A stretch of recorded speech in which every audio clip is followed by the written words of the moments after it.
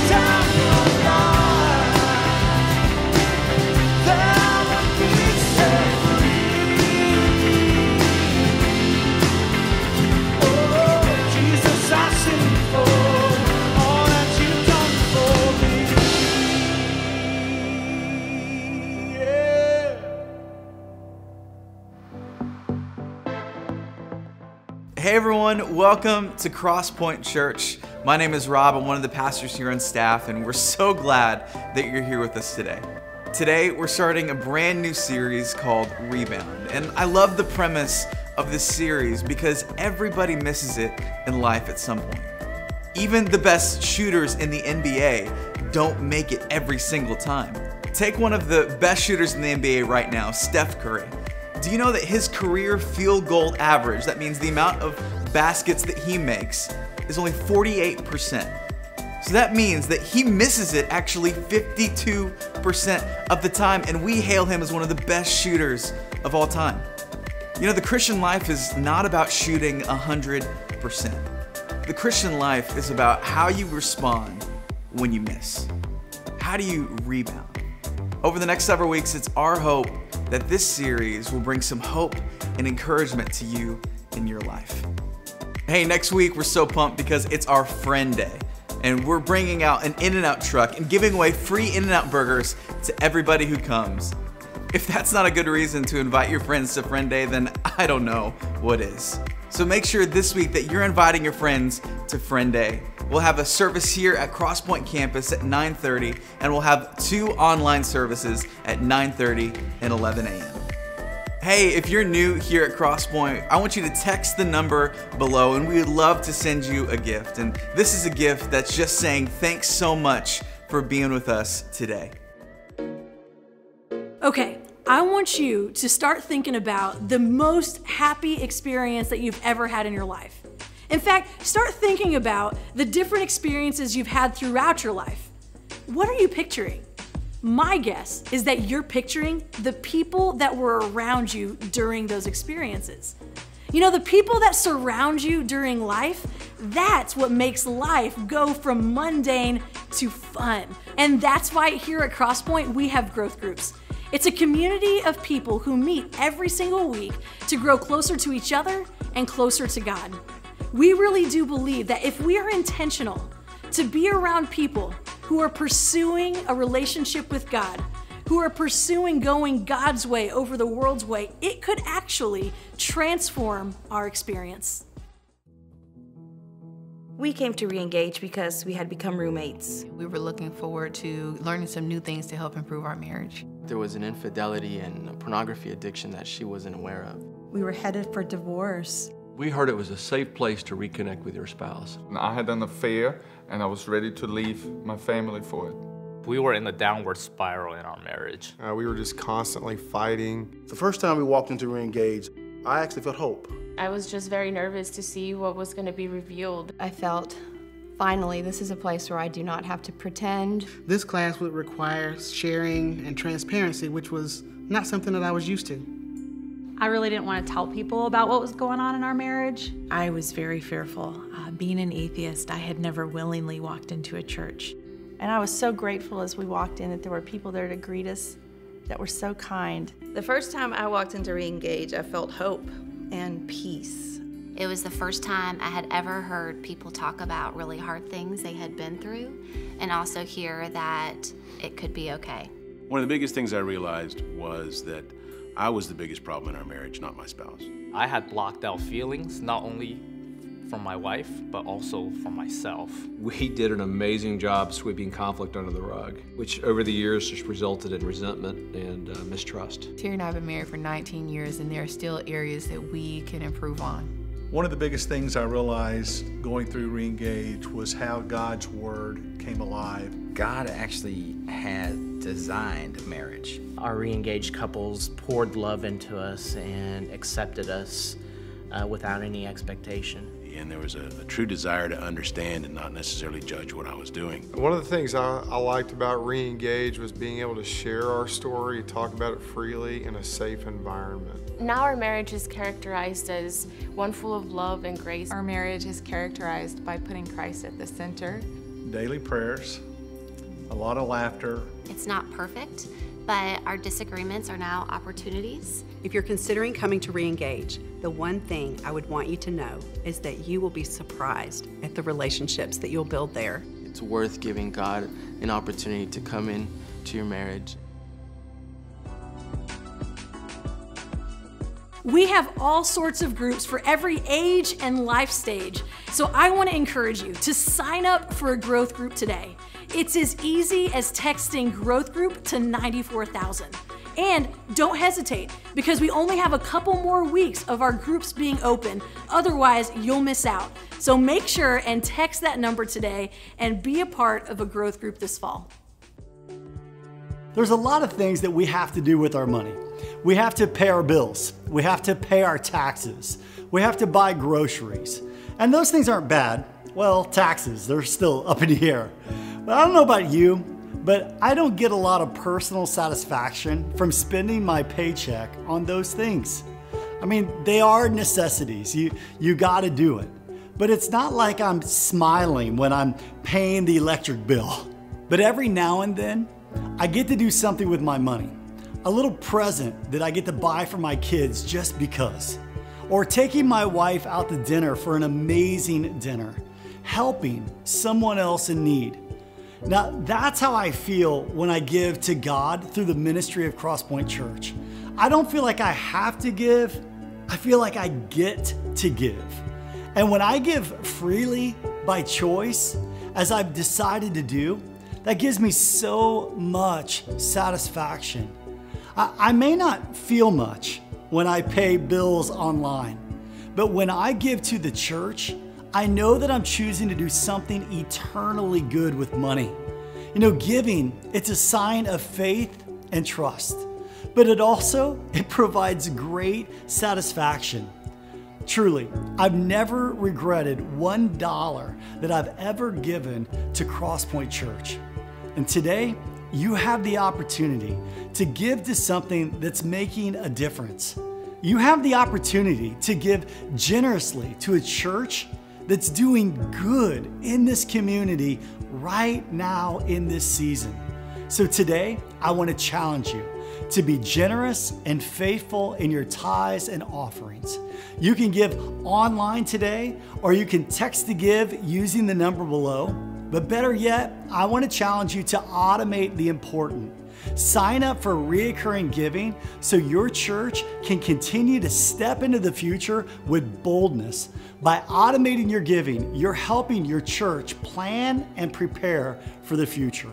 And when you financially support your church, you are a link on the chain of helping other people find and follow Jesus.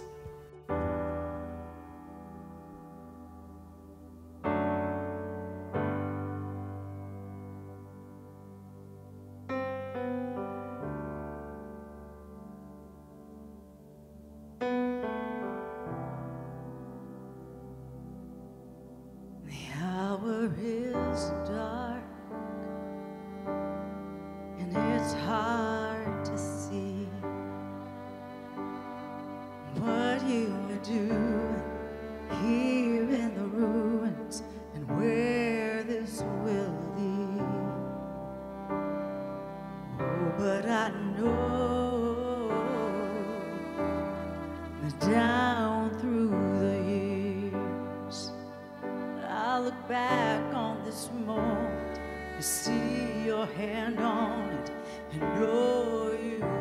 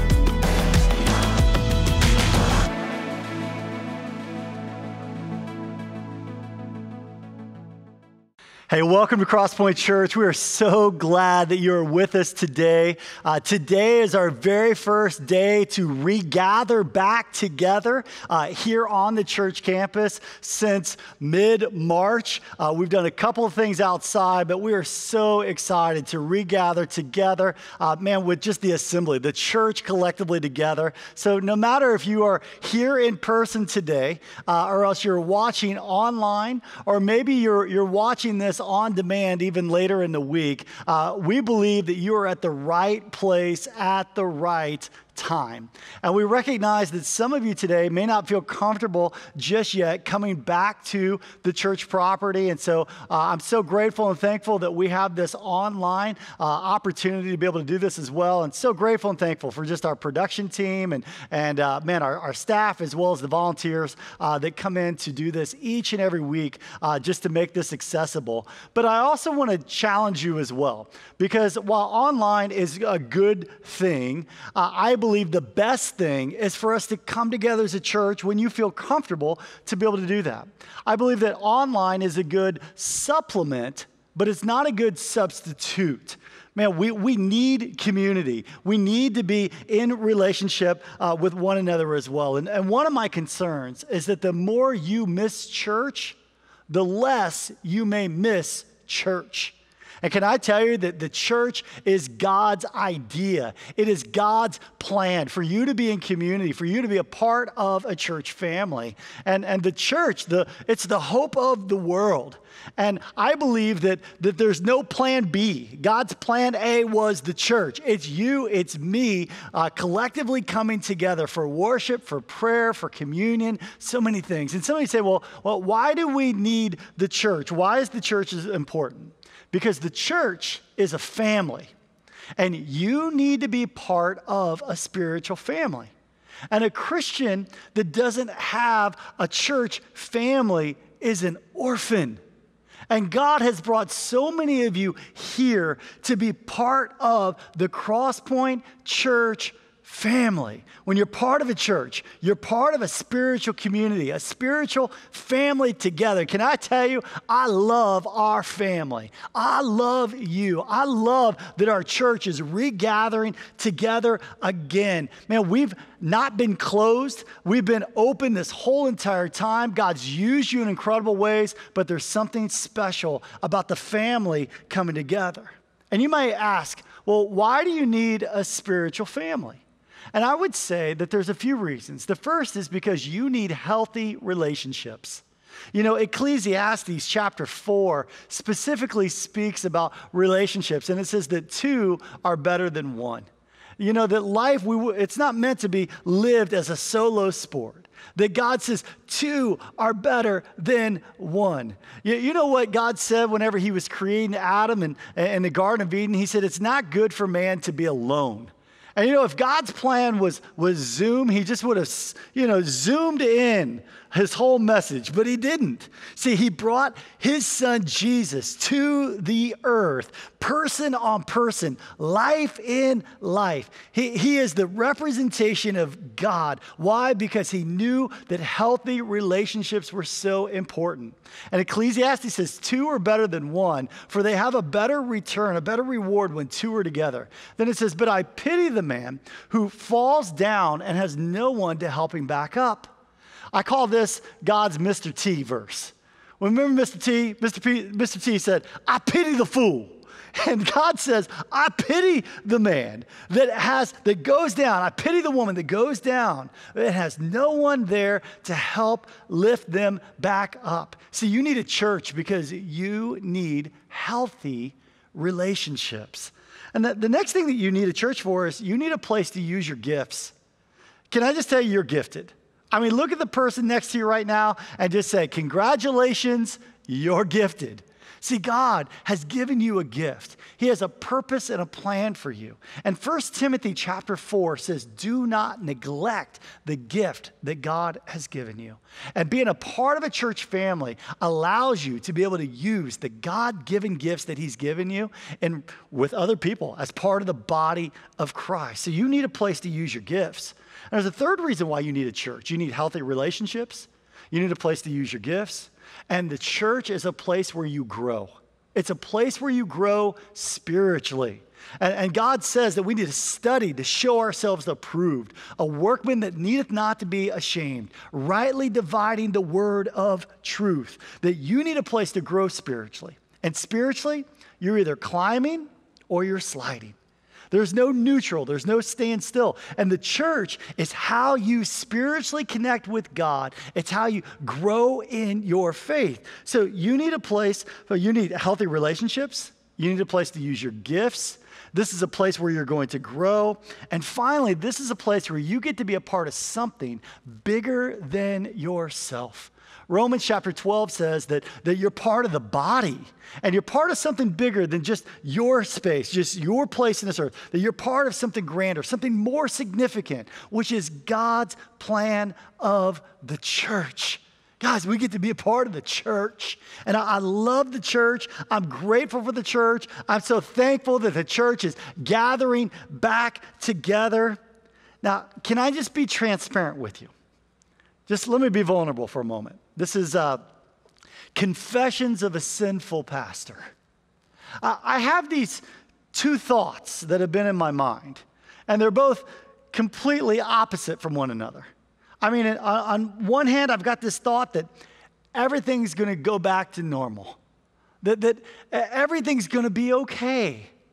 That, that you know, there's, there's opportunity and, and uncertainty. And I have this thought that, that, you know what, I can do this, I can do this. But I have this other thought as well. Maybe you do too. That things are never going to go back to normal. That things are not okay, things are terrible. I have this thought that I wonder is are people going to regather? Are people going to come back to the church? And, I have this, this thought of, I can't do this. And I have both of these thoughts going on at the same time. And sometimes I have the same thoughts on the same day. Sometimes I have these two competing thoughts happening in the same hour. I'm, I'm grateful and thankful I can't think two thoughts at the exact same time. You know, you got both of these things going back and forth, and this is a weird season that we find ourselves in. I mean, we've overheard the phrase unprecedented times. You know, Pastor Matt said something to me that just resonated with me. He, he said this He said, I hope when I say, remember when, it's referring to these days we're living in now and not the pre COVID days. I thought that was pretty profound. You know, in times of uncertainty in my life, and definitely in the season that we find ourselves in right now, I find myself praying this prayer. This is a prayer that I pray often, and I invite you to pray the same prayer. And the prayer is this God, I'll do the possible, but I'm asking you to do the impossible. God, I'll do the possible. I'll be faithful. I'll be in your word. I'll do what you call me to do. I'll do the next right thing. But God, I'm asking you to do the impossible. I can't change someone else's heart, someone else's thoughts, someone else's beliefs. There's things in this world that I cannot control. So, God, in this time of uncertainty, I'll do the possible. But, God, I'm asking you to do the impossible, the thing that I, I can't control. You know, I believe that one of the strongest, strongest biblical parallels to the season and the time that we find ourselves in right now is the story of Noah. And some of you, you know this famous story of Noah and the ark and Noah and the animals. But, but some of you, eh, you think this is a kid's story. I mean, a lot of times we think of Noah and the ark and we think of kids. And, and you know, even here at our church, we, have got this unbelievable kids ministry and we've got this preschool area and nursery area. And it's all decorated like Noah's ark meets modern day times. I mean, it's, it's magnificent. But a lot of times we think, oh, it's, it's a kid's story. Can, can I tell you, this couldn't be further from a kid's story. I mean, th- this is a story about people that turned their back on God. People that, that chose to go the world's way instead of God's way. Not just that, they kind of stuck their middle finger up at God. They said, We're going to do what we want to do. God calls that attitude sin. S I N. I am in the middle. I will do what I want to do. And because of their sin, listen, God said there's consequences for sin. And He gave them time and time and time again to turn around, man, to, to get back going God's way. But they continue to refuse. And finally, God had had enough. And He said, I'm going to send a storm and a flood because this world is being corrupted by so much sin that is happening. And so God caused this great storm to happen. Now, some of you just have a Sunday school understanding of Noah the ark. Some of you today, uh, because of your intellect, because of science, you may be tempted to kind of go flat brain right now. Just kind of check out because you don't agree with all the science around Noah and the ark. And I'm going to ask you just to stay leaned in. Don't, don't check out, even if you don't believe in some of the science behind this, because I believe that you're going to hear some principles behind it that I think can be impactful for your life. You know, Noah and the ark, a, a few years, or it was actually last year, my wife and I, uh, we took our family, I got invited to speak at a conference in Kentucky. And uh, I knew we were going to be close to this place where they had this replica of Noah's ark. And I, I, brought a few pictures for you today. I mean, this is me taking this picture. I mean, this thing is massive. Uh, they spent over $30 million on this exhibit of Noah's ark that would be a life size, exactly true replica. I got another picture here of uh, me and my family just to kind of show you. Looks like it's a fake background, but it's not. That's the ark uh, there right behind us. And, and we were going right up to the door of the ark, and you can just kind of see the scale of this thing thing of us getting ready to, to go inside. And just so you can see how massive uh, this ark really is. I mean, this is the, the size. And we got this beautiful picture here, too, of, of just showing this, this magnificent ark. I mean, the story of Noah and the ark. Now, I want to share with you a few things that you may not be familiar with in the story.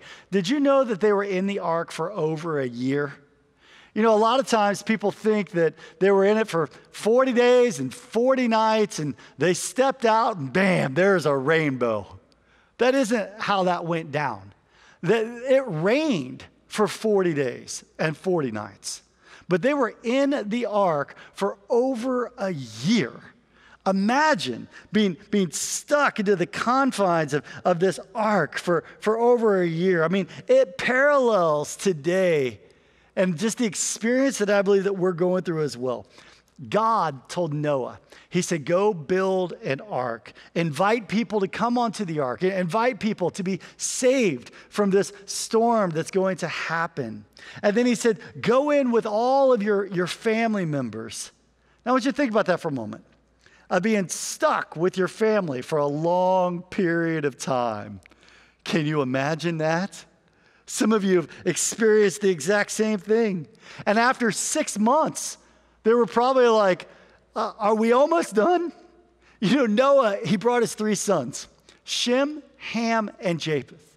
I know they sound like the three stooges, okay, as far as their names. But I just imagine Ham like going up to his dad saying, What are we doing? We're going to go on an ark. What's an ark? He's like, it's this, this big boat. God told us that we got to protect ourselves. And, and then Ham gets in. They've been in for a little while. And he's like, Dad, how long are we going to be in this thing? And, and, you know, I'm sure Noah's like, oh, a couple weeks. Maybe a couple weeks. He didn't know how long it was going to rain. And then after a couple weeks, they're like, Dad, how long are we going to be in this thing? I mean, they, they had no clue. They had no idea. They didn't get daily updates from the governor. They just knew we got to trust some people that maybe they know what they're doing. He, he, he's saying, What's the plan? And, and Noah's saying, The plan is this God told us to get in the ark. We don't know how long we're going to be in the ark. And we've got to trust God while we were in the ark. I wonder what they were doing. Have you ever thought about that? What if they ever played hide and go seek in the ark, hiding in the animal pens? I wonder if the daughter in laws got along for a long period of time while they're all here in this ark, this, this quarantine state. Here they are trusting God. Genesis chapter 8, verse 1 says this It says, But God remembered Noah. I love that phrase. Because I want to let you know that if you're a child of God, God remembers you. God knows you. No longer how, no matter how long you've been in a storm, no longer how long the storm has been raging, God sees you. He knows you. He knows you by name. God remembered Noah and all the wild animals. People say, Does God care about animals? Yeah, He cares about animals. He cared about the livestock, cared about all of them that were there in the boat. And he sent a wind to blow across the earth, and the floodwaters began to recede. And the underground waters stopped flowing, and the torrential rains from the sky, they were stopped. So the floodwaters gradually receded from the earth after how long? 150 days. Exactly five months from the time the flood began the boat came to rest on the mountains of Ararat. So I, I, want you to know, first of all, they were in the ark for at least a week before it started raining. Then they're in the ark, they were there. It rains for 40 days and 40 nights. Then five months later, it docks at Mount Ararat. Now, they still didn't get off the boat. And the reason why is because there was so much mud and goo everywhere that, that they couldn't step on, there wasn't dry ground to step on. So they had to stay on it. Just the moment they think, this is it, we're going to be able to get out, it's over. Nope. They got to stay on the ark a little bit longer. I think it parallels so close to where we're at right now. So the timing was off. And I find this interesting that timing is so important. God remembered Noah, and at just the right time is whenever they got off the ark. And God's perfect timing. Timing is so important in life. You know, John Maxwell is a great leadership coach, author, former pastor, and uh, he wrote this very famous book called 21 Irrefutable Laws of Leadership. And law number 17 is the law of timing. And, and here's what John Maxwell says about timing he says, reading a situation and knowing what to do are not enough to make you succeed in leadership. If you want your organization, department, or team, or I would add family, to move forward, you must pay attention to timing. He, he goes on, and here's what he says about timing. He says, you, can do the right thing in the wrong time, and it's the wrong thing. See, it's so important to get your timing lined up so that you're getting everything together in the perfect time. Now, we don't always know what the perfect time is. That's why we trust God. And I love the fact that God's timing is always right. God's never early, God's never late. God is always right on time. So here they are. They, they, they land on Mount Ararat, and at just the right time, God says, okay, it's okay to disembark now. So here they come off the ark. I mean, it's, it's Shem, Ham, Japheth, it's, it's the family, it's the kids. I mean, here comes the animals, pigs, donkeys. Everything is coming off the ark. And I just wonder how they felt coming out of that ark. I think some of us can relate with that right now, maybe more so than we ever could, could have before in our life. I don't think they ever stopped talking about the ark. I think they told stories for the rest of their life. And I think you are going to tell stories to your family and your children and your grandchildren for years and years to come about this time and this season that you've been quarantined, that you've been in your own proverbial ark. And the question is, what do we do when we're in this ark? Man, I think this is a time of preparation. This is a time of seeking God. You know, God's just been putting in my heart, my spirit, just the power of prayer. How important it is to lean into our relationship with God in this season. To say, God, blow a fresh wind through me.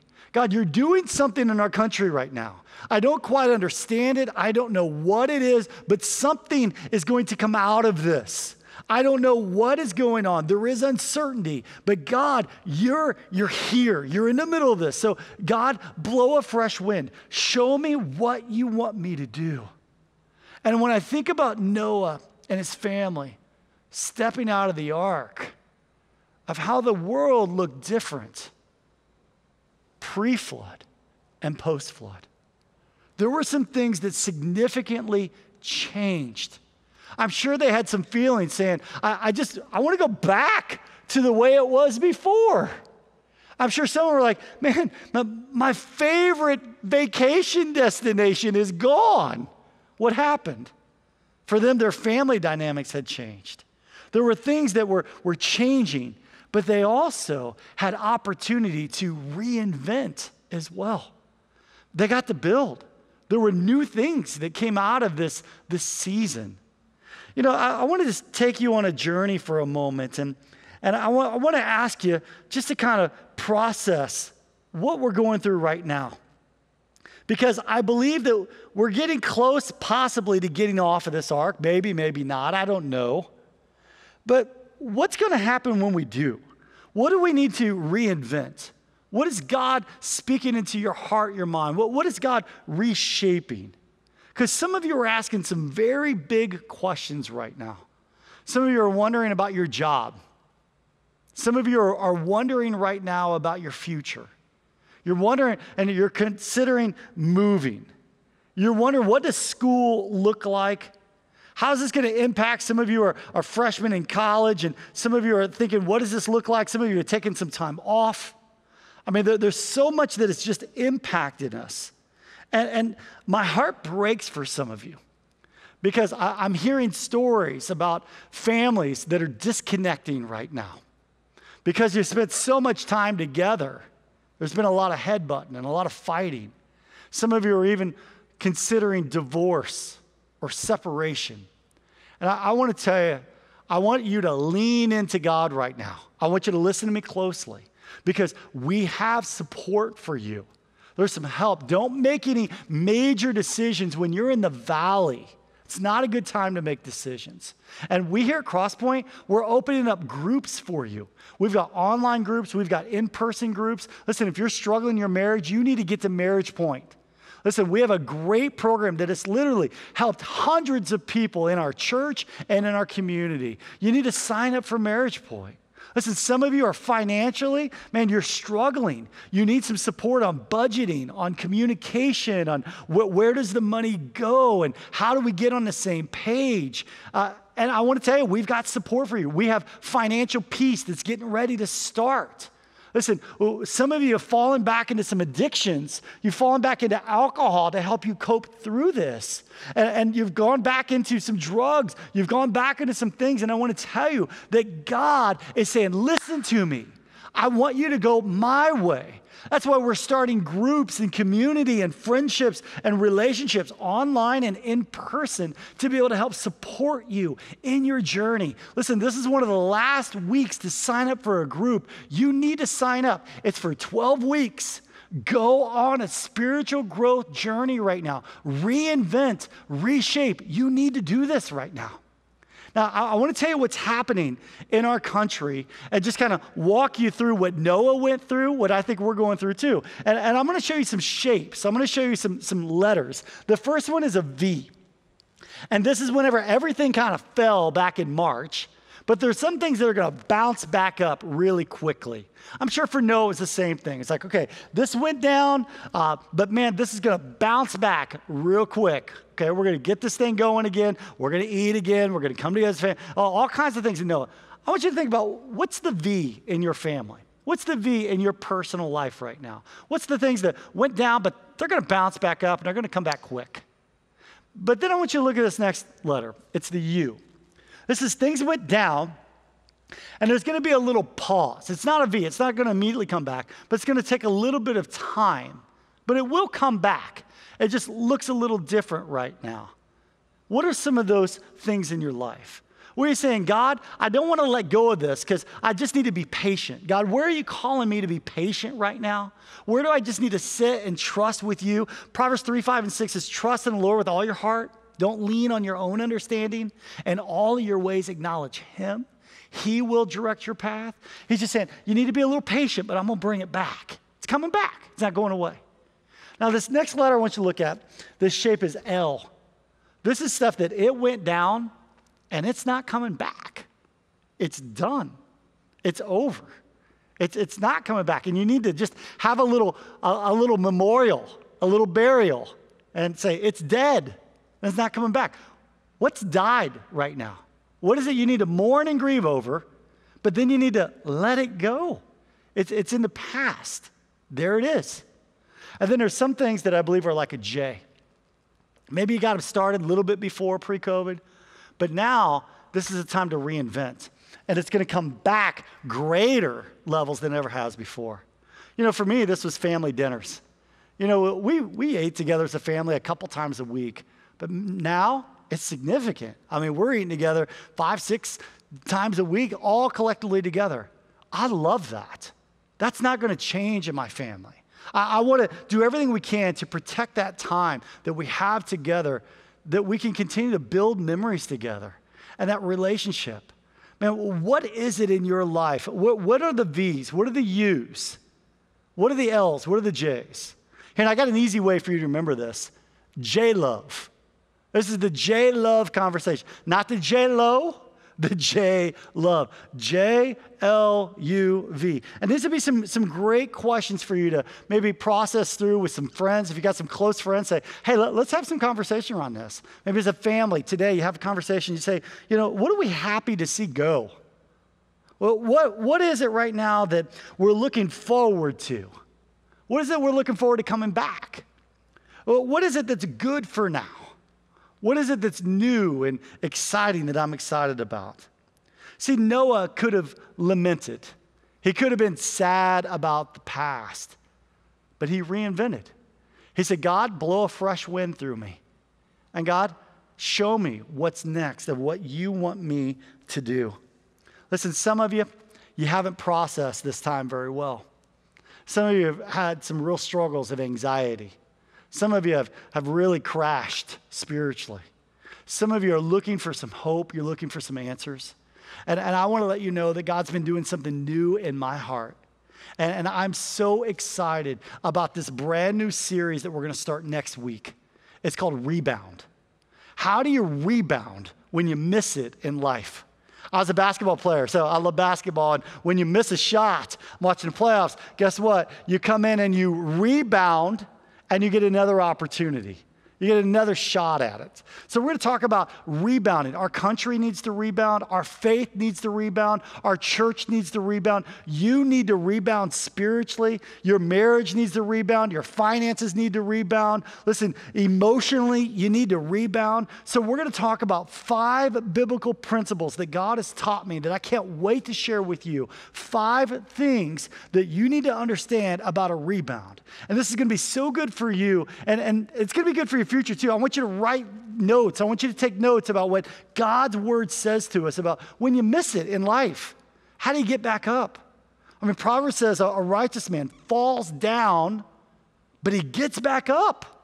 So, how do we rebound? How do we get back up? So, we're going to go on a 40 day spiritual growth journey together starting next Sunday.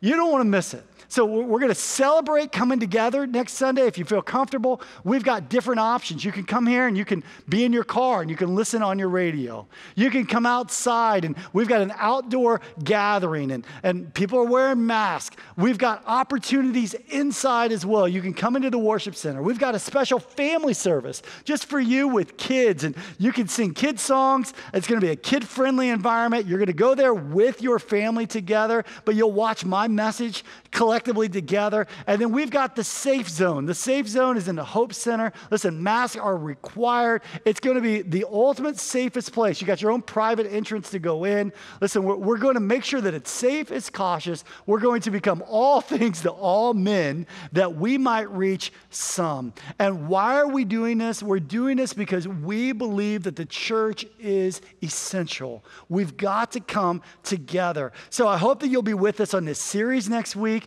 Make a decision to be a part with us for all five weeks of the series. And, and we're going to do something cool. Everybody that is a part of the series, all five weeks, we've got some Crosspointe swag that we're going to give to you. And that's if you're in person, and here's how we're going to do it by you checking in. If you check in on Facebook, you check in, that's how we'll know that you've been here for all five weeks. And even if you can't make it to the campus and you want to check in online, you can check in from the comfort of your own home. We would encourage you, though, to check in for all five weeks. Don't miss a service. And we're all going to collectively come together.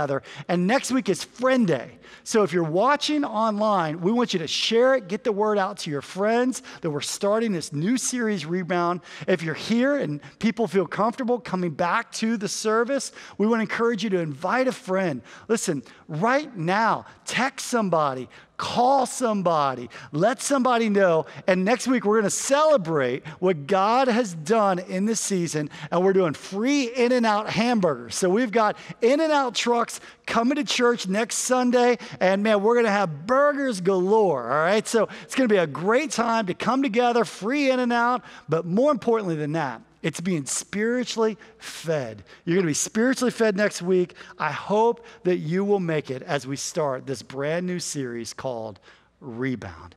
And the final thing I want to let you know is this in this new season, you're going to need faith. I don't know when the last days are. Maybe we're living in them right now, maybe we're not. No man knows the day or the hour. But I think it's ludicrous for us to prepare for retirement ludicrous for us to prepare for everything in life. You've got insurance, you've got everything that you're preparing for whatever's going to happen. It's ludicrous for us not to prepare for eternity. And if you've never put your faith and trust in Jesus Christ, I believe that's the most important decision you could ever make. And here's how you do that it's by confessing your sin, it's by saying, I'm not enough. S I N.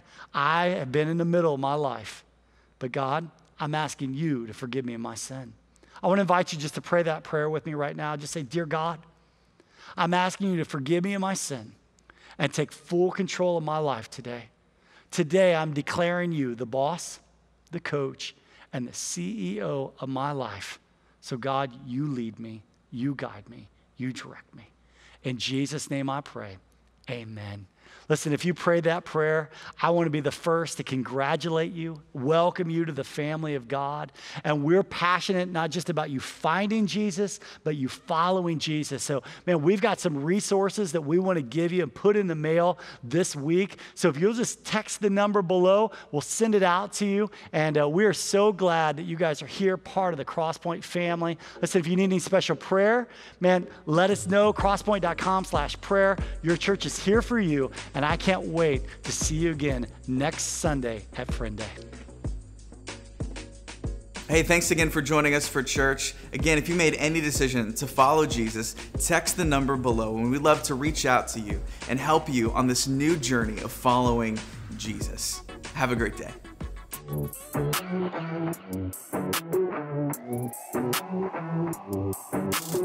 Jesus, you have been so faithful. So true. I will be forever thankful.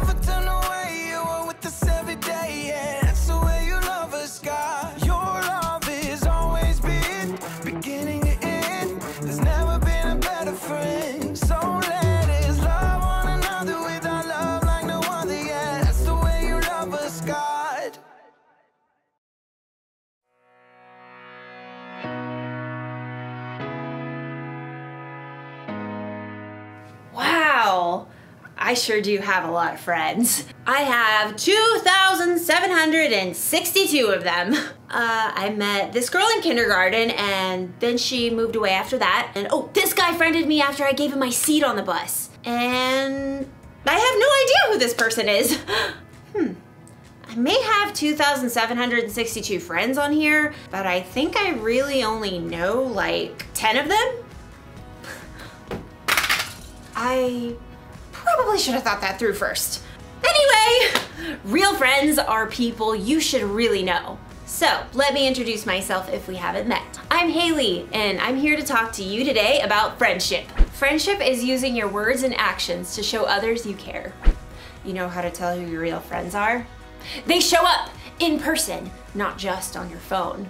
They show up when you're happy and when you're having a party. They show up when you need help. They show up when you're sad and you need a shoulder to cry on. Real friends, your best friends, are there for you in the good times and the bad. Just like the two friends in today's story. They went through what every friendship goes through the highs, the lows, running for your life from an angry king. Oh, okay, well, maybe not every friendship goes through that part. I wonder if one of my 2,762 friends can fix a broken phone. Oh, I know. I'll just call someone. Oh, uh, that's not gonna work. Haley! Uh, I'll be right back.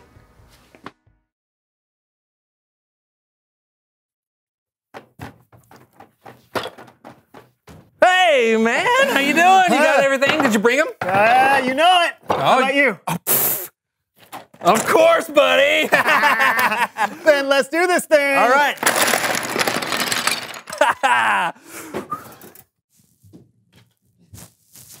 Hit it! Woo! yeah!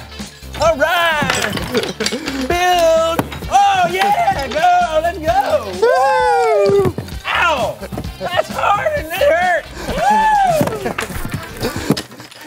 Are you sure this is how you have a block party?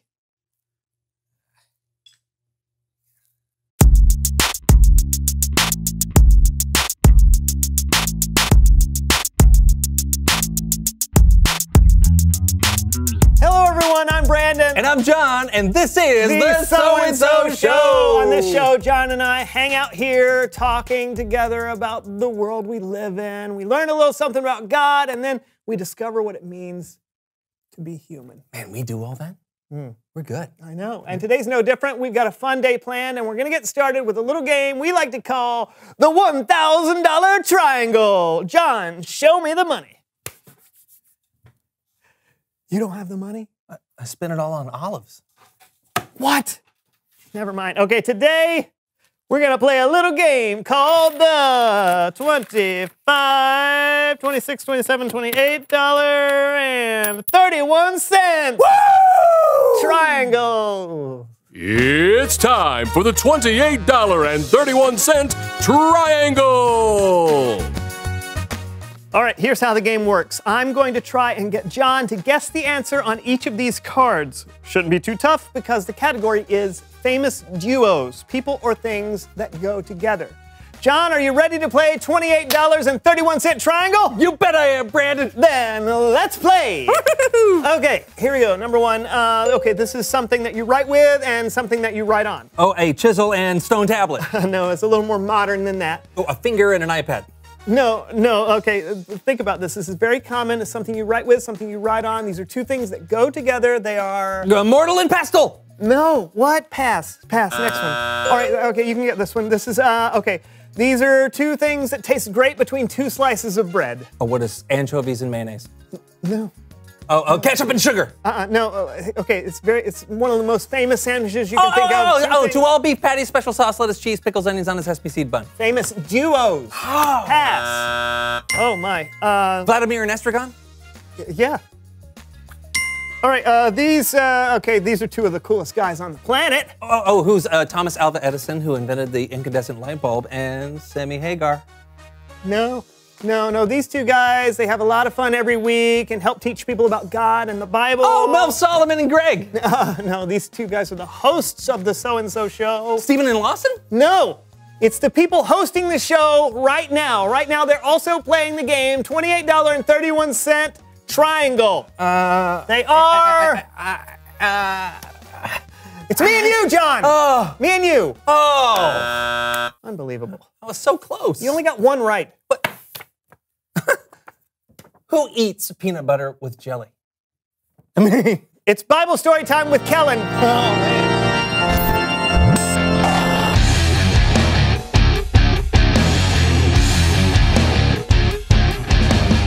Hello, my friends. How's it going? Pretty good, Kellen. John didn't know we were a famous duo. Oh, I thought we were a famous trio. Hey, you're right. That's why I missed it. Yeah. What story do you have for us today? Well, speaking of duos, today I want to talk about one of the most famous duos in history, David and Jonathan. And to help me do that, please welcome the So and So Show players. Jonathan was the prince of Israel. Hi, I'm Jonathan. And his dad, King Saul, was the very first king of Israel. I am king. David was Jonathan's best friend. Hi, I'm David. He killed Goliath. He was a really mean giant. David was a national hero, and everyone loved him. oh, stop. and don't tell Saul and Jonathan this, but God had decided that David was going to be the next king of Israel. What'd he say? Uh, I'm just telling the story. Still, Jonathan loved David, and he gave his friend gifts that were good enough for a prince. Here, friend. It's my bow and arrow. Thank you, best friend. and my princely tunic. Mm-hmm. Thank you. you. and mm, my favorite pillow, my favorite soccer ball. Thank you. Hold on, there's more to come. And all of the important things. Oh, You'll sleep well with him. Th- thank you. This will help you in a jam. Th- thank you. And this will always provide the light just the way you want it. Oh, thank you. Jonathan probably didn't give David a lampshade, but you get the idea. They were best friends. Unfortunately, King Saul was jealous of David because everyone liked him so much. So, King Saul sort of wanted to uh, kill David. Why does your dad want to kill me? What did I do? Well, he's not going to kill you. He, look, dad tells me everything. He wouldn't keep something like that from me. Maybe he didn't tell you because he knows how close we are. Oh. Mm-hmm. Oh. Mm-hmm. Mm. Uh, oof. Mm. What do you want me to do? Hmm. I'm supposed to eat with the king at the new moon feast tomorrow. Tell them that I couldn't make it. And if he gets mad, then you'll know for sure he's trying to kill me. Can you do that? Yeah, I'll do it. I'll do it. Wait, how will I know how your father reacts? Hmm. Hmm. Hmm. I have an oddly over elaborate plan that might just work. Mm-hmm. You see that stone out there? Yes. I want you to wait by that stone. After the feast, I'll come out with a servant and I'll shoot three arrows into the field. Three. And if everything is okay, I'll say, Look, the arrows are on this side of you. And if I find out that dad wants to kill you, I'll say, Look, the arrows are far, far beyond you. And if I say that, then you definitely need to run. Okay? All right? Got it? Okay. Why wouldn't you just send your servant No, out no, there to no, tell no. me during? There's no time for discussion, okay? The game is at foot. Let's go. Good. Okay. The plan was in place, everything was set. David had chosen not to eat with the king at the new moon feast. The only question was how would King Saul react? Well, on the second night of the feast, King Saul noticed something was missing. Son, Yes, Father? where Yes. is Yes. the catsup? Oh, um, uh, it's, uh, right here. Right, it's right here. Thank you. Thank you. And, uh, Thank you. I believe it's pronounced ketchup, last I heard. Yeah, well, the more you know. Ah. Also, where Yes, Father? is Yes. The, the, the mustard? Um, it's right, right. Right there. Yes. ah, thank you. Thank Yeah, you. no problem. Mm. There's a little red, a little yellow, makes a very happy mm-hmm. Mm-hmm. fellow. Very good. Now, mm-hmm. oh, son. yes, Father? Uh, where's David? Um, he wanted to go visit his family, so I let him go. What? Now, do you not realize that as long as he is alive, you will never be king? David must die! But he hasn't done anything. King Saul was so angry, he grabbed a spear and threw it at his own son. I'm going to throw this spear at you. No, no. You best run! No! You best run! Uh, not not a pickle spear, an actual spear. But whatever. The spear missed Jonathan, and Jonathan had all the information that he needed. King Saul wanted to kill David. So it was time to send David the signal. Come, unnamed servant from the Bible, let's shoot some arrows into the field for no mysterious reason whatsoever. Shall I make the sound, sire? Oh, shall you make the sound? Don't you always make the sound? Very Thank- good. Thank you. hmm Very good. Very good. Mhm. Excellent marksmanship, sir. Thank you. Thank you. Very good. Now, run out into the field and collect those arrows. Uh, but they're just they're just right there. Go! Okay. Hurry! Run fast, don't stop! The arrows are far beyond you! I feel like you're not even looking at me. Just go! Run! Have I gotten there yet? Okay, okay, okay. I'm, there we oh, got him. Got him. Yahtzee. All right. Okay. Ah, yeah. Very well, lad. You take those weapons back to town. Okay. When the servant left, David came out of hiding and met his friend on the field one last time. Get up, get up, get up, get up. Promise me you'll always be kind to my family, even after my father is gone. I promise. In the name of the Lord, you and I have made a promise to be friends. It's not only a promise between us, but between our children after us. Yes. Go in peace.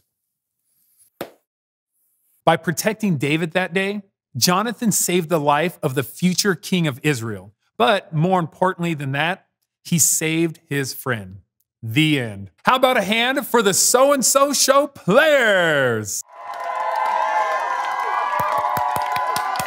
Uh, wow, what an incredible story. I know. Jonathan was a prince, so by saving David, he was basically giving up the throne. And That's risking amazing. his life. I mean, Jonathan really laid everything on the line for his friend. Mm-hmm. Well, that's what friends do, isn't it? They love each other. They're patient and kind. They protect each other and never give up on each other. It's it's like the apostle Paul wrote in his letter to the Corinthians. Love never fails. Never. Uh, I'm not sure I'm that good of a friend. No offense. No, I'm with you. It's true. I think if we really want to love like a true friend, we're going to need God's help. He knows more about love than anyone. Well, think about it. He sent his son, Jesus, to die for us so that we would know how important we are to him. Talk about laying everything on the line. Yeah, that's so true. Thanks, Kellen. You bet. I'll catch you guys later. See ya. Bye, Kellen.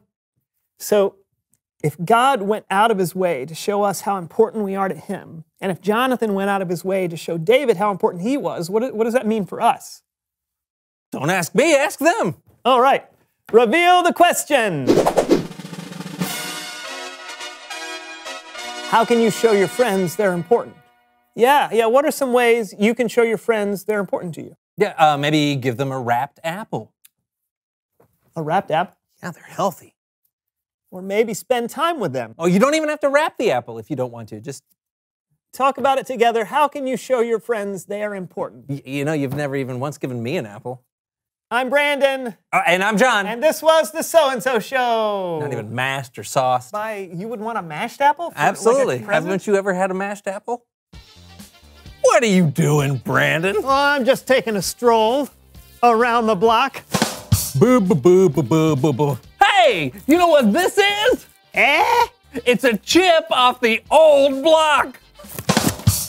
Oh, oh, oh, oh, oh, oh, oh. Hey, stop being a stumbling block. I'll knock your block off. Blockhead. You got any more? No, I, I've got writer's block.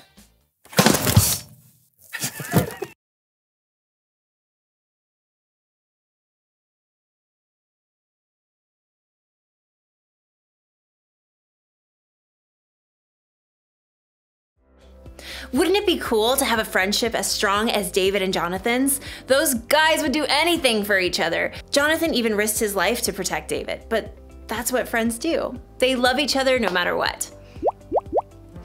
Okay, okay, not that kind of love. I'm talking about the kind of love this guy Paul wrote about in one of his letters. You can find the letter in your Bible. It's called the Book of First Corinthians. You want to know what love is? Here's some of what Paul wrote. Love is patient. Love is kind. It does not brag. It is not proud. It does not easily become angry. It always protects. It always trusts. It always hopes. It never gives up. Love never fails. That's how you show love to a friend. You're not impatient with them, you don't get angry easily, you protect them and you stand up for them, and you never ever fail. Wait, love never fails? That seems kind of difficult. The truth is, for us, it's kind of impossible to love without failing.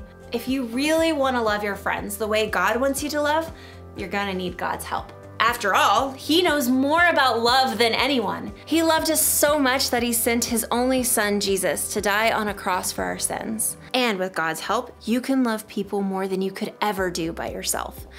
So, the one thing to remember today is this friends love one another. Sometimes friends fail, but that's okay. Friends also forgive, which is a good thing because because this was my friend Erica's phone and I think she's gonna be like, and I'm gonna be like, and then we'll laugh about it